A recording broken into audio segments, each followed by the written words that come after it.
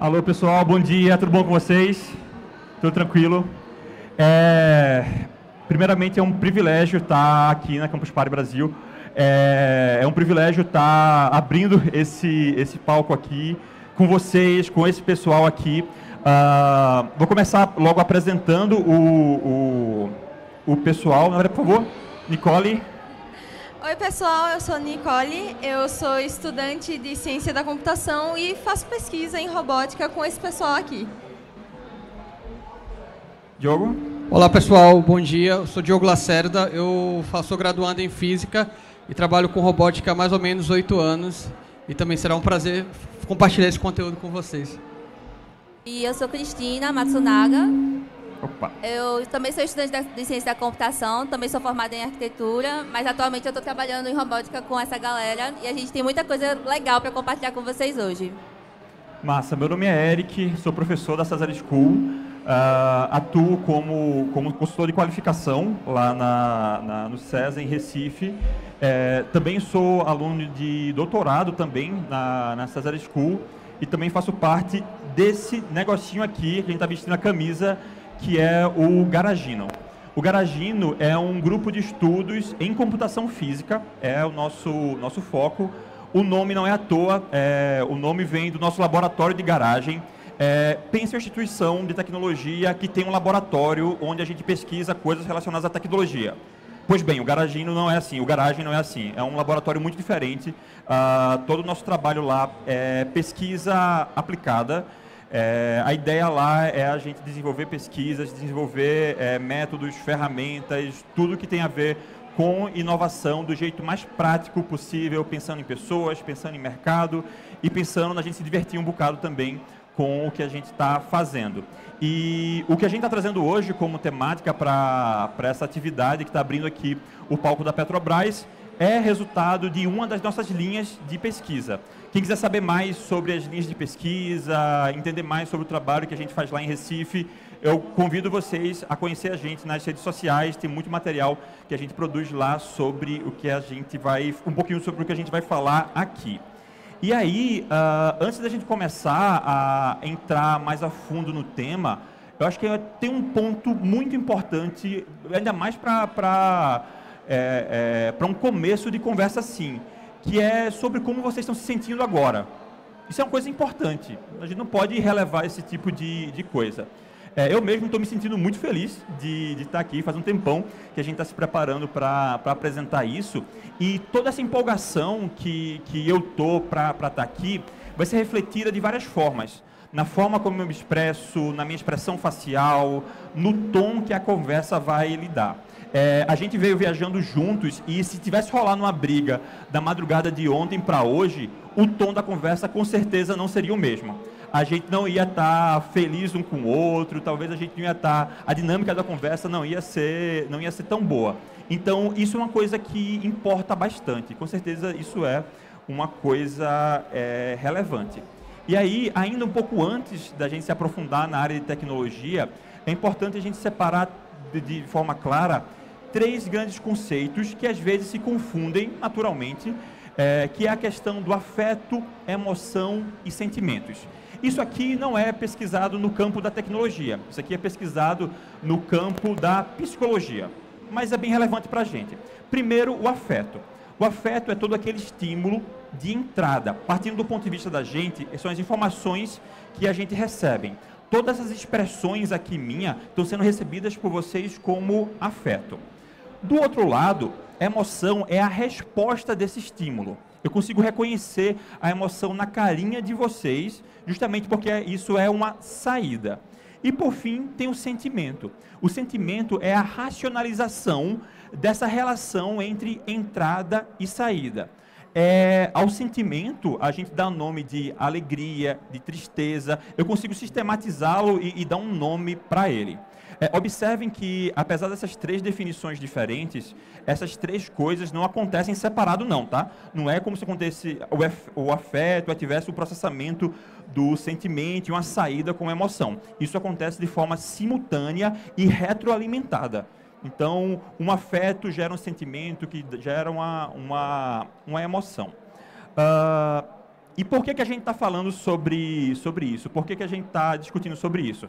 Porque, assim como muitas tecnologias que a gente conhece, como redes neurais, que são é, inspiradas na lógica de funcionamento dos neurônios, como algoritmos genéticos, que são inspirados na forma como a evolução das espécies acontecem, uh, o papo da gente hoje é inspirado nisso aqui. Isso aqui é um ponto muito importante para o que a gente vai falar sobre robótica emotiva, afetiva e tudo mais.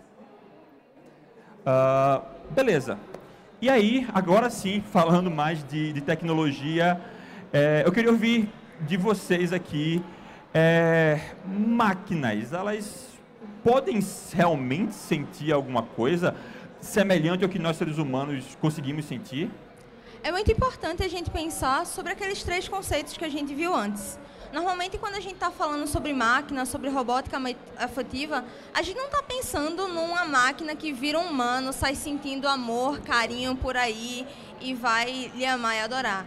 A gente está pensando numa máquina que ela vai expressar para você que ela te ama, ela vai expressar para você que ela está gostando daquela é, relação ali, ela vai saber reconhecer que você está satisfeito ou não com as interações. Se ela está realmente sentindo isso, o papo é outro. E eu acredito que é, atualmente, né, no momento em que a gente se encontra, a gente consegue fazer muito as máquinas simularem sentimentos e fazer o, o reconhecimento desse sentimento, dessas emoções, através de, por exemplo, reconhecimento facial, é, e aí ele trabalha, pode trabalhar isso com a inteligência artificial, né, para trazer mais verossimilhança, reações mais espontâneas, né? Mas eu acho que isso é um tópico muito atual, que a gente precisa muito refletir também sobre é, o que são os humanos, né? Como é que a gente se sente, como é que a gente traz esses sentimentos, tanto bons e ruins, porque é a gente quem vai fazer a máquina simular e, e meio que quase ter esses sentimentos também, sabe? É importante fazer essa separação porque existe uma grande ideia de que quando a gente fala de. Até ontem eu estava vendo uma palestra, a gente fala de IA, de robótica, as pessoas sempre acham que o robô vai tomar conta de tudo e que o robô vai substituir futuro, a né? gente. Né? Só que é para é isso que a gente é, traçou esses limites, para a gente saber até onde a gente vai, ou até o, como é que a gente vai. O mais importante é saber como vamos chegar, o processo que vai chegar. Então, a partir desses conceitos básicos que a gente pode é, traçar os nossos limites e saber até o, a que ponto vamos chegar. Maravilha. É, nesse tópico também, uh, eu acho que entra uma coisa que é muito importante, que é como que a gente define o que é que sente e o que é que não sente. Uh, eu posso dizer que um cachorro tem sentimentos? Levanta a mão aí quem concorda. Cachorro tem sentimentos? Por quê? Alguém gostaria de argumentar? Sim, tem sentimentos porque Alguém? Oi, quer? Eita, acho melhor. Tu pode, gentileza? Eu não sei se eu posso descer aqui por causa da microfonia. Ah, valeu. porque eles demonstram, por exemplo, quando eles estão alegres, eles chegam mais perto, ou quando eles estão tristes, eles se recolhem. Então, todos os animais, eles demonstram esses sentimentos de alguma forma, eles só não expressam com palavras. Mas, mesmo assim, às vezes com ruídos também, com miados ou latidos, se for o mais típico, que é o gato e o cachorro. Muito bom, excelente. Então, expressar, se, se, se aquilo que eu estou observando ele é capaz de expressar emoções, uh, a gente pode dizer com certa segurança que ele deve ter sentimentos.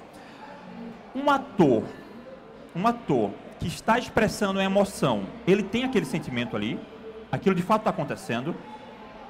Pensa numa cena de filme que fez você chorar porque a pessoa estava lá chorando com o filho dos braços, uma cena muito dramática. Aquilo ali é uma expressão de sentimento. Mas aquele sentimento, ele é real? Não? Hum. O sentimento que você sentiu ao ver aquela cena, que você sabe que tem um cara ali sendo pago para fazer aquilo, é real? Ah, chegamos num ponto interessante. Talvez o mais importante não seja o que o, o, o meu objeto de estudo de fato sente, mas sim do que ele causa em mim. Aquilo passa a ser válido a partir do momento que eu estou tendo algum tipo de relação com aquilo. seja ela oriunda de algo que seja genuíno ou não. Seja um animal que eu estou interpretando ali a partir de N estímulos dele, quais são os sentimentos que ele está sentindo, seja a partir de um filme, de um ator que está fingindo a morte de um filho que não é o filho dele, que ele nem filho tem, mas ele está ali interpretando aquilo. O que é relevante nesse ponto é como que eu me sinto. Isso tem um link muito forte com a, a, o teste de Turing. O teste de Turing, uh, ele é colocado muitas vezes de forma simplória como um teste para avaliar se a tecnologia está tão avançada que ela consegue é, passar ao teu mesmo comportamento de humano. E não é bem esse o ponto. Está correto essa afirmação, de certa forma, mas ele vai um pouco mais além. Na verdade, o que é relevante é eu aceitar que de duas conversas que eu estou tendo com uma coisa que é uma máquina e outra que não é, eu só aceito que, ok, as duas estão conseguindo se expressar de forma humana, de forma indistinguível. Eu sei que uma delas não é, racionalmente, mas afetivamente eu considero como sendo ok, é razoável, e, e isso aqui não, não difere de uma, de uma pessoa orgânica. Esse que, que é o ponto. Vamos falar mais um pouco sobre, sobre isso. Parando para refletir um pouco nisso, a gente tem que pensar de onde essa tecnologia veio e para onde ela está hoje. A gente começa lá na década de 40 com o ENIAC, que era aquele computador gigante que ocupava uma sala inteira. Você não tinha nenhum tipo de interface, mas ali era a primeira interação que a gente tinha entre humano e máquina de uma forma mais pessoal e não só a máquina como uma ferramenta. A gente passa depois para os computadores pessoais, então a gente passa a ter aquilo cada vez mais no nosso cotidiano. É, a gente tem a alusão que vai vir em 1980 com a interface do usuário e com o modelo mental. Que um desafio que a gente tem sempre com a tecnologia é como eu faço com que essa tecnologia chegue ao meu usuário? Como o meu usuário vai interagir com ela? Que não importa se eu tenho algo que é revolucionário, mas a pessoa comum, meu usuário, não consegue entender como usar aquilo. Então, os modelos mentais, quando logo lançou os computadores pessoais, a galera não conseguia entender como usava, parecia muito complicado. Então, dez anos depois, o pessoal disse, olha, imagina que isso aqui é tua área de trabalho, tipo teu escritório que tu tem. Na tua área de trabalho, tu vai encontrar teu computador, tu vai encontrar teus documentos, tu vai encontrar tuas pastas. Então, é formado um modelo mental para que se haja essa velha semelhança. E é isso que a gente também traz depois na robótica de toda vez antes de criar algo, você procura um modelo que tenha velha semelhança com algo que já existe. Porque se você traz algo completamente revolucionário, ele só é o estranho e o estranho assusta. É, e essa, esse momento de 1980 dos modelos mentais, ela foi muito importante porque foi um dos pontapés para a gente tornar a área da computação mais multidisciplinar. Então, a gente começou a, a, a se voltar não só para a parte técnica das máquinas, mas como as máquinas vão afetar o ser humano e também foi se vendo a nível de modelo de negócios o quanto isso impacta financeiramente é, os investimentos e o trabalho em relação ao desenvolvimento de sistemas interativos. E sistemas interativos quaisquer, um computador, seja o celular, seja é, o controle remoto da sua TV, todos eles são sistemas interativos que precisam ter essa resposta do usuário. E essa década de 80 foi muito importante por conta disso. E aí, na década de 90, a gente tem a internet, a telecomunicação, trazendo essa conexão entre tudo e todos, né? E em 2000 a gente acaba conseguindo ter esses dispositivos móveis com impacto social, onde o celular e é, os computadores se tornam meios de comunicação entre as pessoas. E isso altera essa, essa relação é, de como as pessoas se comunicam, né? Já não é mais por telefone, já não é mais por carta, é de forma instantânea, rápida, através de mensagens, né? E é durante é, o início da, da, década de 2000 em que a psicologia, a, a psiquiatria também entra com tudo para trazer informações para a gente trabalhar melhor com a tecnologia. E por último, a gente tem os dias de hoje, né? Com a inteligência artificial bombando, a gente tendo tudo na palma da mão. Quem aqui já incorporou o Bard ou o Chat GPT nas suas tarefas cotidianas? Assim, para algo no trabalho? Dá uma levantadinha aí na mão. Quem tá... Então, isso está se tornando cada vez mais próximo e vira algo que o chat GPT, ele vira tanto aquele que vai fazer um pedaço do seu código, quanto aquele que, tipo, cara, eu tô querendo fazer uma dieta, monta aí um plano de dieta para mim. É, queria só retomar um tópico que Cris falou aqui, que é muito importante, que é a questão da interdisciplinaridade. Uh, todo mundo aqui é estudante de ciência da computação ou de algum curso muito, muito técnico, é, e existe um, um, estigma da galera de, de ciência da computação, os desenvolvedores, viverem muito separados. É, nada disso que a gente está falando aqui funciona se a gente trabalhar sozinho. Então, eu iniciei o papo aqui falando sobre aspectos do ponto de, de psicologia, mas é, no nosso grupo de estudo tem uma série de estudantes de design que estão nos apoiando. É, lá na, no Cesar School, a gente, é, é, é, o pessoal de ciência da computação é, com processo de design, o pessoal de design também escreve código, a gente trabalha muito unido nesse, nesse sentido, mas isso é uma coisa muito, muito, muito importante. É, a gente separar essas ciências faz algum sentido academicamente, ou a gente conseguir focar em alguma coisa, mas para a produção de artefatos não faz sentido nenhum. Esse trabalho necessariamente precisa ser, ser integrado. E eu acho que principalmente quando é, a, os sistemas vão ficando mais complexos, né? A interação entre eles também vão ficando mais complexos. A gente acaba precisando muito dessa multidisciplinaridade. Então, é algo que a gente não pode mais ter medo. A gente precisa misturar tudo, conversar com todo mundo e conhecer um pouco de tudo para conseguir fazer isso acontecer. Show. Uh, Tem um ponto interessante aí que se você parar para pensar que as coisas estão ficando tecnicamente cada vez mais complexas. Então, um cara que tem um conhecimento muito complexo, ele tá, vai ter que saber conversar com um cara que não tem tanto esse conhecimento complexo para explicar de como aquilo funciona. E o cara que trabalha, às vezes, com, com o público, ele também vai ter que, conversar com esse cara para saber como o sistema funciona. Porque se não essa engrenagem não funciona, se todo mundo ficar isolado, tanto o cara lá que é muito técnico, por exemplo, eu faço física, o cara que está desenvolvendo algo muito complexo, chega lá para o cara, eu fiz isso, tá?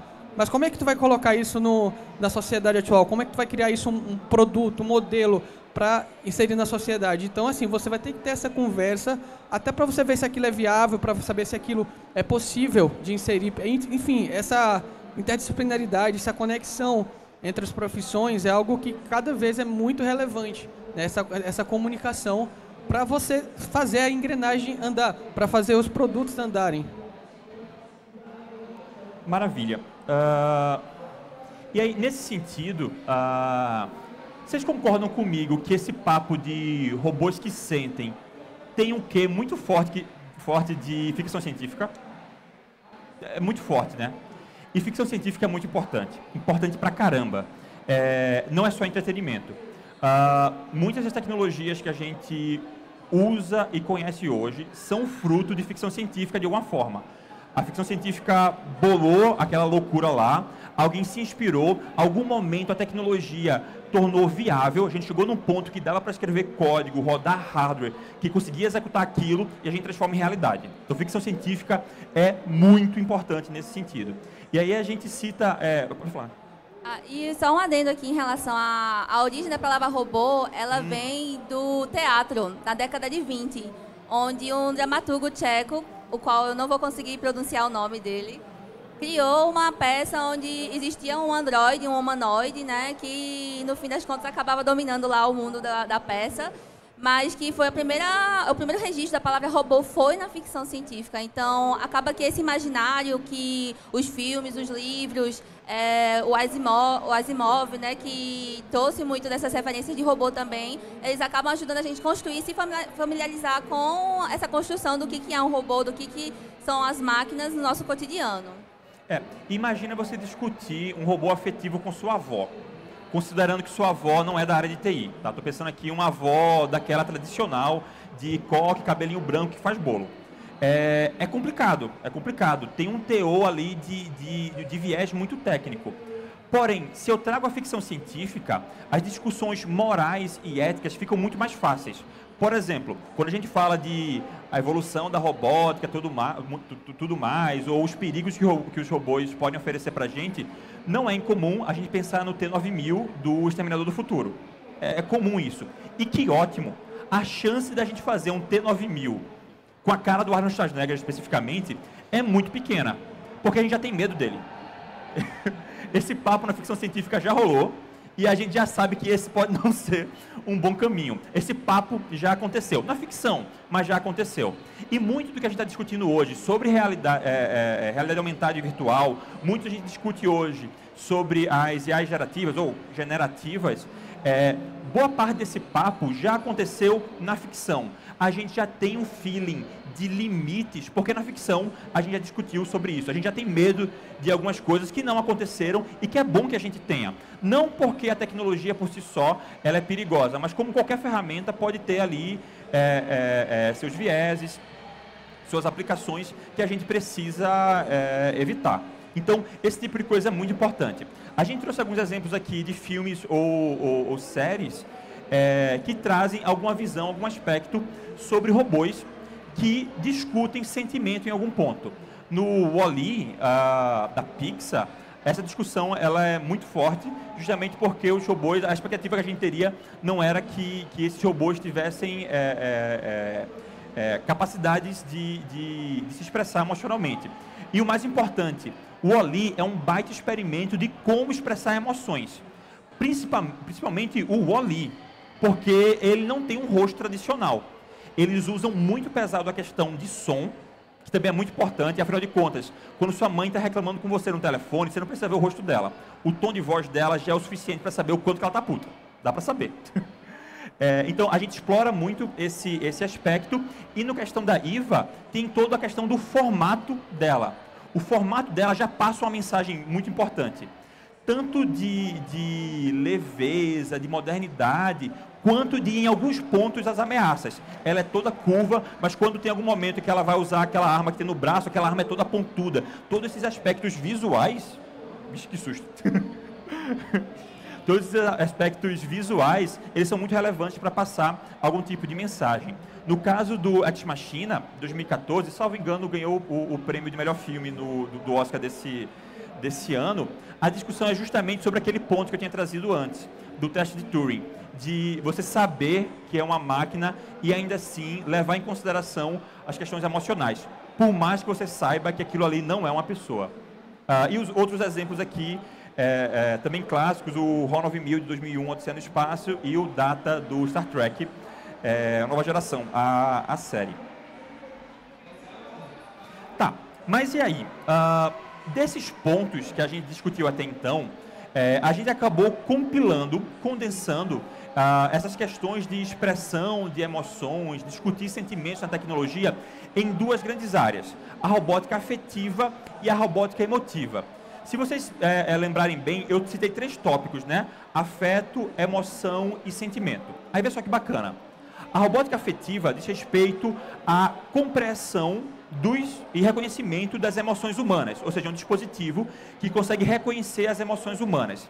Essas emoções podem ser reconhecidas tanto através de visão computacional, do, da forma como o, o, o, o meu rosto está tá, tá, tá expressando emoções, mas até mesmo de escrita. Escrita também é uma coisa muito importante.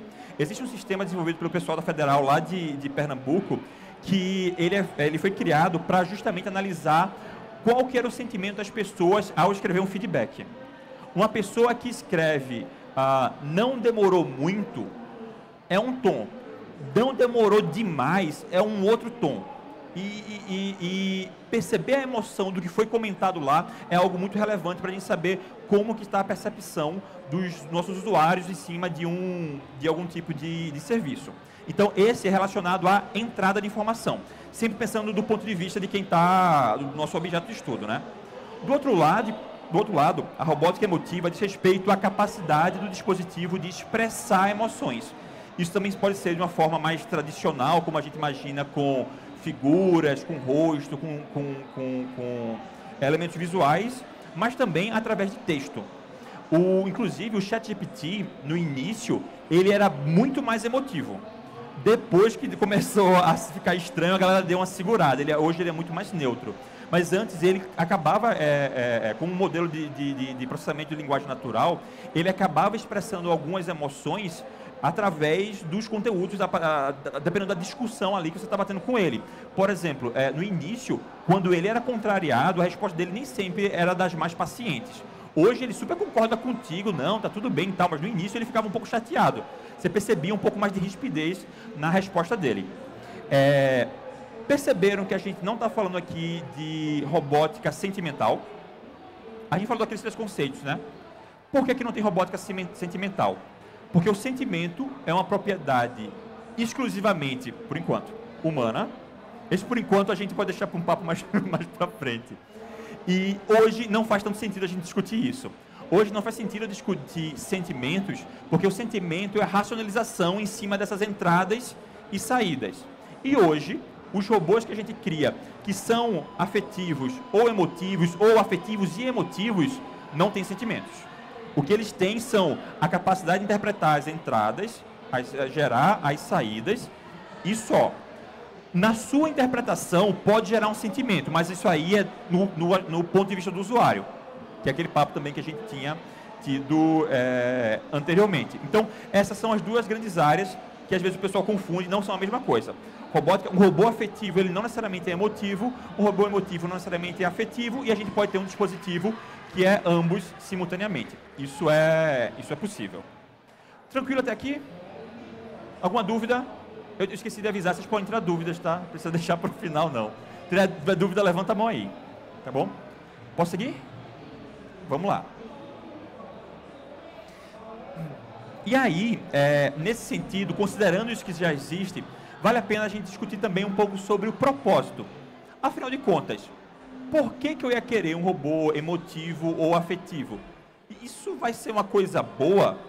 Para responder isso, vamos trazer alguns cases. Esse robô aqui é o Deliro. Ele é um robô que já está rodando no Japão, ele é bem recente, uh, uh, ele foi lançado, os últimos testes foram no final do ano passado e esse ano ele já está é, operacional. Ele é um robô que faz entregas. Ele é basicamente um cooler gigante andando pela cidade. É, a tecnologia por trás dele é muito legal, mas não é coisa de outro mundo. Robôs móveis é uma coisa que a gente já faz há bastante tempo. Uh, esse tipo de sensoriamento é, também já é estudado há algum tempo, mas tem um detalhe importante. É, o pessoal que desenvolveu o Deliro lá no Japão decidiu colocar olhinhos na frente dele. Esses olhos não são funcionais, são apenas um, um, um espacinho ali de LCD para expressar algum tipo de emoção. Além disso, ele também tem uma voz, inclusive uma voz infantil, uma voz que parece uma voz de criança. Alguém consegue imaginar por que, que o pessoal que estava desenvolvendo esse, esse produto resolveu colocar, gastar tempo desenvolvendo essa questão dos olhinhos e da voz dele? A, gente consegue levar um microfone para lá? É palpite. Tá valendo ponto não, pode ir. Porque o demonstrar o afetivo, ele gera mais conexão. Então, quando ter alguém que olha para você e fala de um jeito mais doce, você se conecta mais rapidamente. Então eu creio que seja por isso que eles fizeram isso, por pensaram nesse design dessa forma. Boa, boa. É, no meu ponto de vista seria parte de pela intimidação também. Tem muita gente que tem medo da revolução, tem muito medo da robótica. Então você colocar um robô com uma voz de criança, uma aparência assim mais tranquila, mais calma. A pessoa às vezes ela olha, ela pode ter medo da evolução, pode ter medo do robô, ela vai ver uma criança, ela não tem medo de uma criança. Uhum. Então ela vai se, tipo, olhar e pensar de uma outra forma nesse robô, não de uma forma intimidadora, se fosse só uma máquina, assim, uma caixa fechada, não sabe como está funcionando, não sabe o que está fazendo realmente. Uhum. Então ela pode ter um medo maior em cima disso. Então as pessoas que têm um pouco de restrição podem é, se acalmar um pouco. Perfeito, perfeito. Para complementar, voltando um pouquinho do que você tinha falado antes, uma coisa que, por que, que é o feedback, juntando com o que você falou agora, é a questão da neurolinguística, que hoje conta muito. E aí a gente usa muito isso para criar justamente conexões. Porque a gente, infelizmente, vive num mundo hiperconectado, mas de relações extremamente líquidas. Então, essas conexões precisam ser feitas, inclusive com as máquinas. Perfeito. Rapaz lá atrás, Eu ia falar exatamente o que o, ele falou ali, né? Questão do, do robô ele ser, por exemplo, deliro, é o pequeno. Normalmente, quando você vê algo maior que você, algo imponente, você fica com medo. Como ele é pequenininho, você não vai ter medo dele, entendeu? Ah, ele é fofinho, ah, ele é tranquilo. O fato de ele ter a voz de criança passa essa sensação para você, que ele é inofensivo. Ele sabe, ele é de boa. É, eu acredito que seja é, é, porque assim, essa questão dos sentimentos, é a, a, forma como que você constrói uma coisa, ela é muito importante, porque a pessoa ela vai olhar aquilo ali, e aquilo ali vai passar, ela vai reagir àquilo, entendeu? Uhum. Era Perfeito. isso. Perfeito. É, é exatamente esse o ponto. Uh, os primeiros testes que, que, o pessoal fez com o Deliro, um dos principais medos que, que, que surgiu era sobre ele vai estar na rua, sem ninguém por perto. Quem é que não me garante que ele vai gerar medo? Quem é que não me garante que ele vai gerar desconforto? Estou aqui na rua de boa e lá vem passar um robô entregador para encher o meu saco. Pior, quem é que me garante que ele não vai ser agredido? Então, é, a, a parte emotiva do, do, do, do, ou melhor, afetiva do, do robô, ela foi desenvolvida justamente para ser uma solução nesse sentido e para de alguma forma inibir esse tipo de, de ação. Afinal de contas, se você fizer alguma coisa com ele, como ele consegue se expressar, ele poderia expressar dor ou algum tipo de desconforto.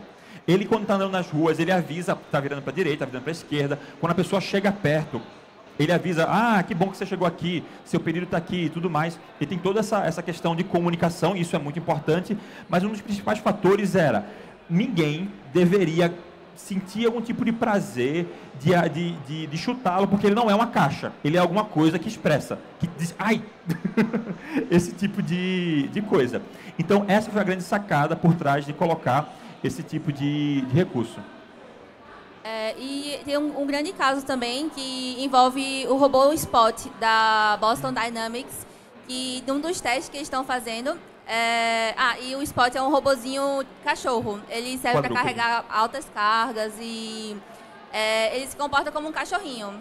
Então, num dos testes que eles estavam fazendo, para provar que ele tinha um bom equilíbrio, é, uma boa, uma boa dinâmica, né? Um cara dá um super chute no cachorrinho, ele cambaleia, assim, quase cai, e você fica morrendo de dó dele. Isso bombou na internet, a galera ficou muito indignada. E é justamente, eu acho que sobre isso também que a gente está discutindo aqui, né?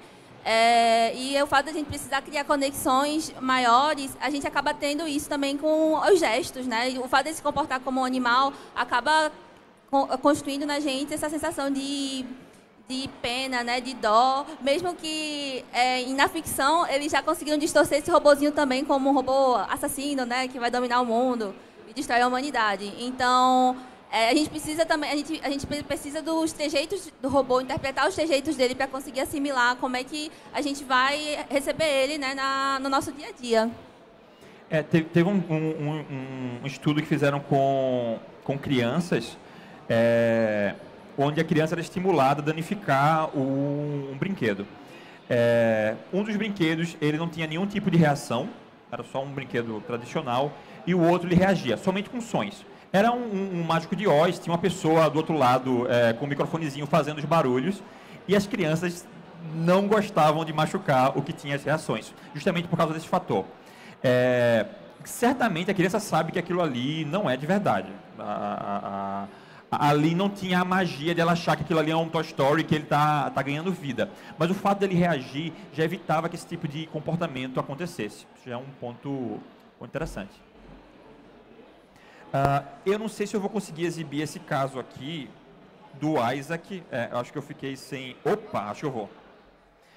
O Isaac é um outro caso. O Isaac é um robô desenvolvido lá pelo, pelo César. E ele é um exemplo de um robô que foi desenvolvido para uma competição é, chamada At Home competição da Robocore para robôs domésticos. A ideia é que esse robô é, é desenvolver as tecnologias para os robôs que vão estar tá morando, vivendo com, com a gente ele entra num outro espectro que eu não citei aqui, que é o de robótica social, que basicamente surge quando os robôs super avançados saem da, da do chão de fábrica e vão para nossas casas. Esse aqui é o Isaac, e ele é lindo. é, essa aqui é a primeira versão do Isaac. Hoje ele já tem um formato mais bonitinho, mais arredondado. Esse aí foi uma das, uma das primeiras versões.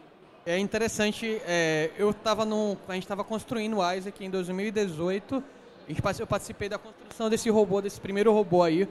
E foi, ele foi meio que marcante no campeonato. Ele participou do campeonato da Hubble Cup, na categoria de home, como o Eric falou, que são os robôs que interagem com as pessoas dentro de casa, fazem algumas tarefas. Em 2018, os robôs que participavam dessa categoria eram simplesmente umas máquinas tipo um computador. Era tipo roda, um computador e só, uma base robótica e só. Nenhum, nenhum robô tinha um rosto, tinha algum tipo de expressão.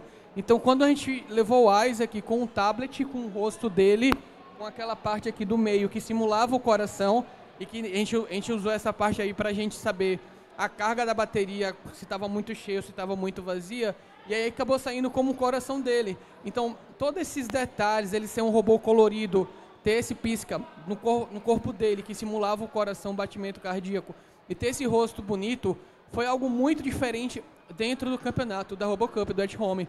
E a gente ganhou esse ano, a gente ficou em primeiro lugar, e teve uma categoria lá que foi interação com o público, que é justamente uma hora que o robô vai interagir com o público. Só que o nosso robô era o único que tinha rosto, era o único que era um robô apresentável, é, tinha uma voz doce, tinha uma voz que uma voz aveludada que você falava, olha que voz legal. Os outros robôs eram uma voz mecânica e nem tinham um rosto, era tipo um, quatro rodas, um notebook e um, um braço robótico lá. Então era, foi muito diferente. Então, mas tudo isso aconteceu com o Isaac, porque a gente foi a primeira equipe nessa categoria a fazer interação entre a galera de ciência da computação e o designers.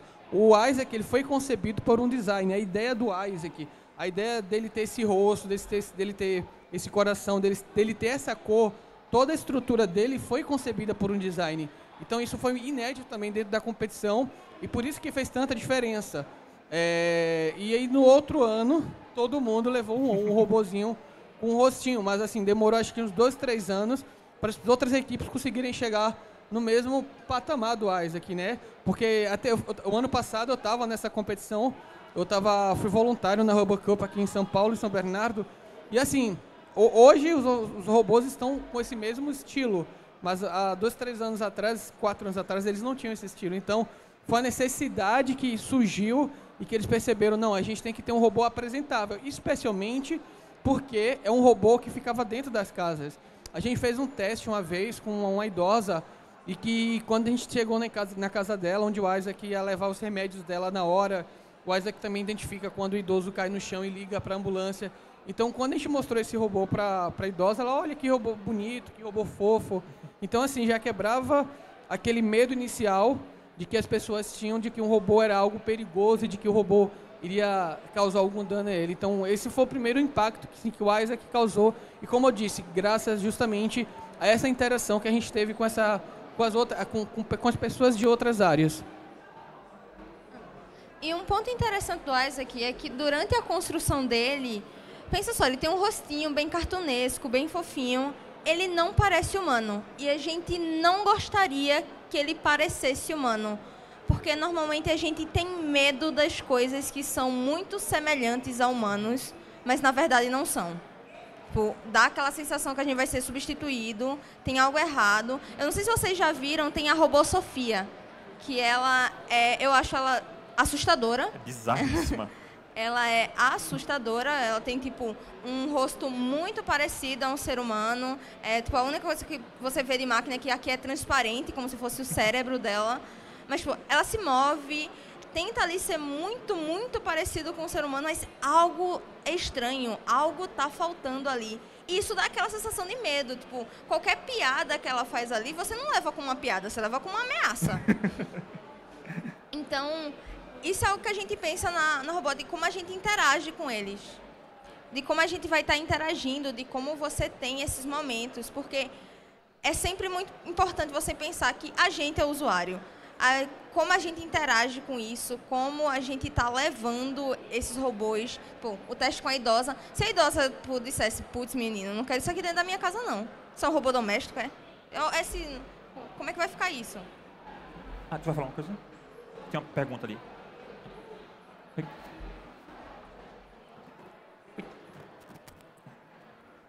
Desculpa, tô quase fazendo parte. Né? Não, se passa é ótimo, daqui. É ótimo. Não, o que eu ia falar é que o que vocês comentaram agora é o que eu sou professora de robótica, inclusive.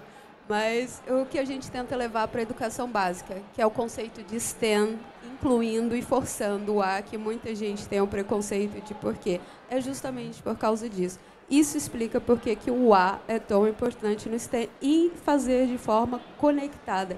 Não, é, eu diria que além do interdisciplinar, é transdisciplinar, porque é tudo unido junto. Não há hierarquia entre uma coisa e outra e não há separação entre elas. Mas, enfim, é, é só um comentário. Perfeito, perfeito. Co- Colocação perfeita.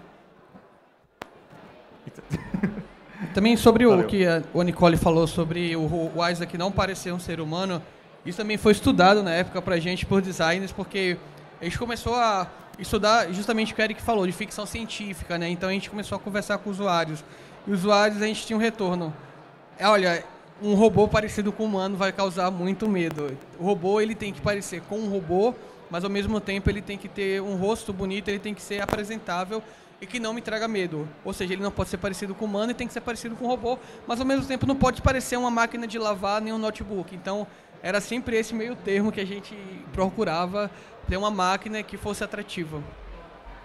É, E eu acho que esse é um, um- é um ponto muito crucial e muito complexo da gente conseguir en- entender esse equilíbrio, né? De até onde a gente se inspira na natureza, né? E até onde a gente para para que não gere esse estranhamento, né? Porque a gente acaba utilizando muito da biomimética, né? Dessa imitação da natureza para criar soluções para é, coisas que a gente não consegue fazer, né? Então, muitos robôs se assemelham a, a, a cachorrinhos, a cavalos, ao próprio ser humano, mas muitas vezes se opta por não fazer essa semelhança direta. E eu acho isso algo que tem muito conteúdo para a gente discutir e se pensar no futuro. Inclusive, eu lembrei que o ano passado, quando eu estava no Robot Cup, que foi aqui na, em São Bernardo, na FEI, eh, eles levaram um robô daquele que parecia um cachorro. E eu percebi que muitas pessoas que não eram da área, porque foi numa universidade onde nem todo mundo tem contato com robótica, as pessoas que eram da área, todo mundo já viu aquele robô. Parecia com um cachorro, ok, ninguém tinha medo. Mas as pessoas que é, que estavam passando por lá e viram um robô parecido com cachorro tinham medo, especialmente os mais idosos, sabe? Ele fala, nossa, que cachorro estranho é esse? Parece algo que, que espantava as pessoas, assim, que realmente nunca viu aquilo, ficava com medo, sabe? Ficava parecendo um esqueleto, algo morto que estava andando, era essa sensação que, que as pessoas tinham quando viam um robô, para quem não era da área. Perfeito. Só um adendo em relação a, a esse robozinho cachorro, é, ele dá esse medinho mesmo. Eu já tive a oportunidade de conhecê-lo. Só que quando ele começa a se comportar como um cachorrinho, te dá a patinha, a reação automática é você querer dar uma acariciada na cabeça dele, mesmo você não sabendo exatamente onde está a cabeça dele, porque ele não tem um, uma protuberânciazinha, assim, ele, é como se fosse um tronquinho, né? Então, é, isso depende muito do comportamento também, dessa resposta que ele acaba gerando para a gente assimilar como, como sentimento, né? Eu acho isso bem interessante, eu adoro. Massa. É, e aí, ah, só para citar um terceiro case aqui, é, essa é a primeira vez que a gente está falando publicamente sobre esse projeto, então eu não consegui trazê-lo ainda porque ele ainda está em desenvolvimento, é sobre o Carinha. O Carinha é um robô é, afetivo, ou melhor, emotivo, perdão, ah, que está sendo desenvolvido e ele é um pouco diferente desses outros que, que eu mostrei anteriormente. Ah, o objetivo desse robô é validar e tirar, a, a- a- colocar em xeque todas essas dúvidas que a gente tem sobre quais as consequências do do uso de dispositivos emotivos. Então, a primeira diferença grande dele é sobre o seu propósito. Geralmente, os nossos robôs, os robôs que a gente conhece, são construídos para solucionar algum problema. Esse, ele existe por existir. Ele não soluciona nenhum problema. É, apesar de ser, é, ele é código aberto, vocês procurarem lá no GitHub, Garagino, vão encontrar nossos projetos, você vai encontrar o, o código do, do carinha lá, ainda em desenvolvimento. A gente até colocou, não sei se dá para ver ali, um, um, um ícone de uma plantinha, porque ele vai ficar é, é, ligado a um, a um vaso de planta que a gente tem lá na, na Cesar School, um vaso de planta bem, bem grande, apesar de que ele não vai informar nada sobre a planta. Se a planta está regada demais, regada de menos, se ela tem alguma necessidade, esse não é o ponto. Ele vive por conta própria. E acontece que ah, a ideia desse dispositivo é que ah, uma série de entradas não comumente usadas para gerar emoção, como clima, umidade, quantidade de pessoas que passam naquele espaço, vão gerar algum tipo de emoção, alegria, tristeza, medo. Por exemplo, uma das coisas que acontece é que se ele está dormindo e alguém chega muito perto dele, muito rápido, ele pode se assustar. Talvez sim, talvez não, não dá para saber, ele é muito imprevisível. Que nem uma pessoa.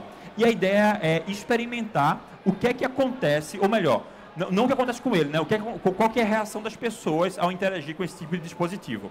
Ele ainda está em desenvolvimento, espero que, que talvez próxima Campus Party a gente traga ele aqui para vocês interagirem com, com ele. Quem quiser acompanhar a, o desenvolvimento dele, tanto o, tem o nosso GitHub 100% open source, como também nas redes sociais da Cesar School.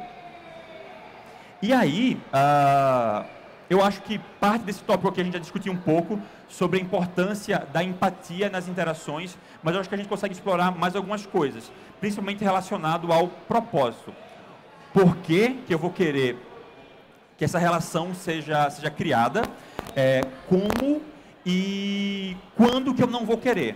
Será que eu vou querer que a minha cafeteira seja afetiva? Será que eu vou querer que minha TV seja emotiva? Será que minha TV vai ficar chateada que eu estou uma semana assistindo uma série nela e eu estou assistindo na, na TV do quarto? Será que isso é bom?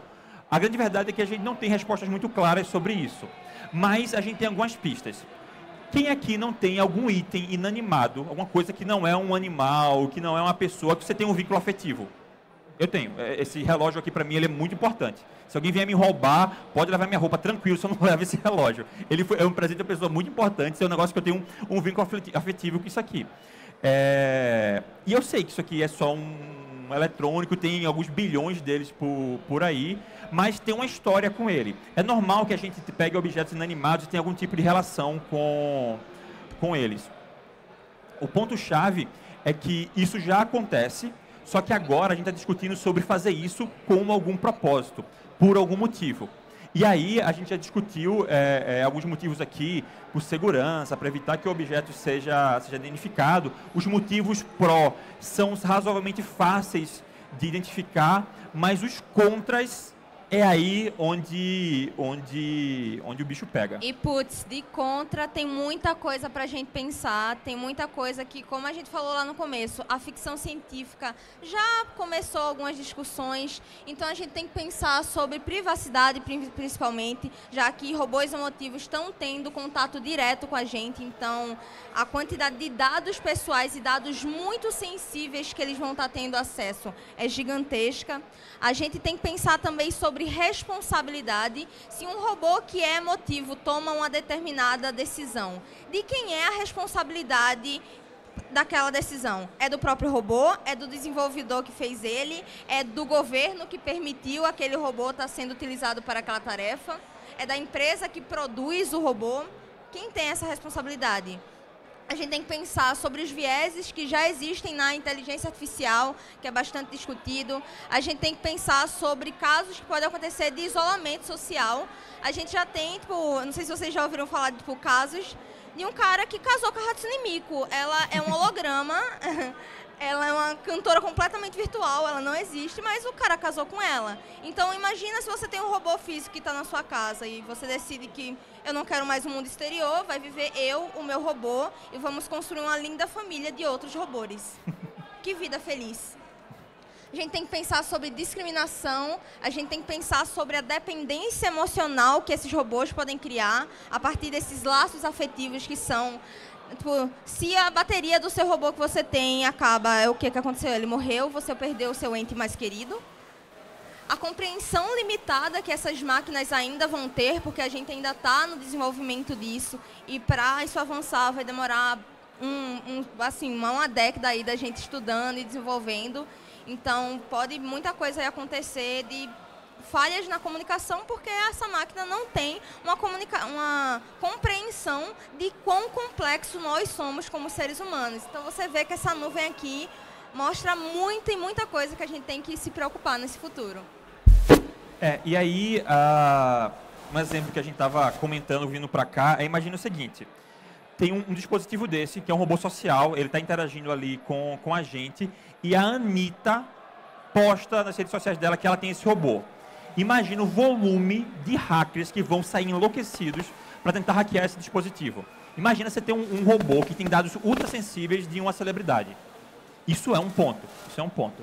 Há alguns anos, eu não vou lembrar aqui quando, é, tinha uma câmera de segurança que é, descobriram a vulnerabilidade dela, é, principalmente Singapura, que era onde ela estava sendo mais, mais vendida.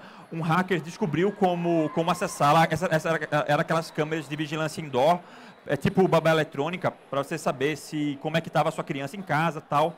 Ele fez ele coletou 3 teras de dados e disponibilizou no site vendendo com cortes específicos onde tinha bom era, as pessoas estavam dentro de casa. Então tinha gente nua tinham crianças em situações ali é, é, é, vexatórias enfim todo tipo de coisa acontecendo.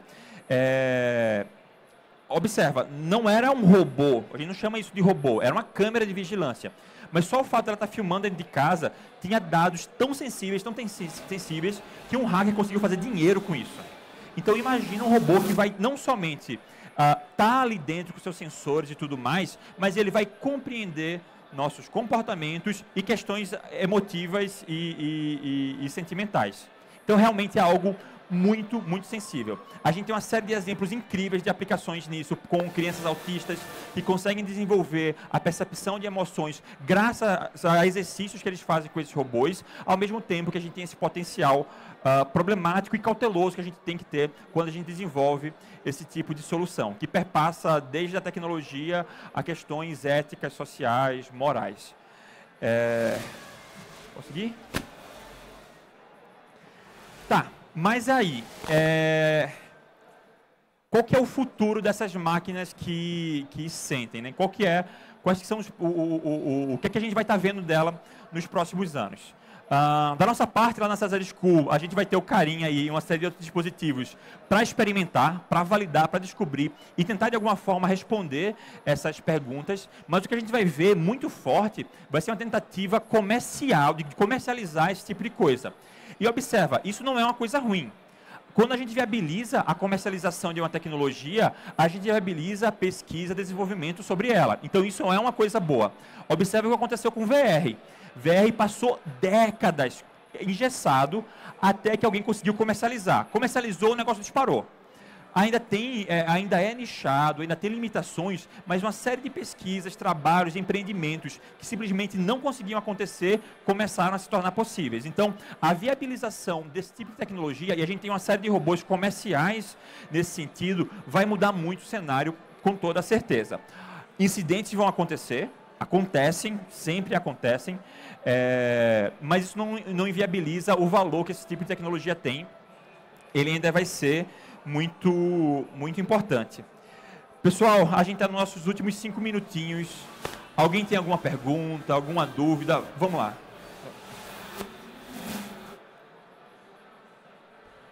Oi, boa tarde. É, eu tenho uma pergunta. Vocês têm medo de, da criação de uma empafobiência decorrente de, é, de máquinas que conseguem é, detectar comportamento humano, assim, tipo, sem você sem o seu consentimento? Hum.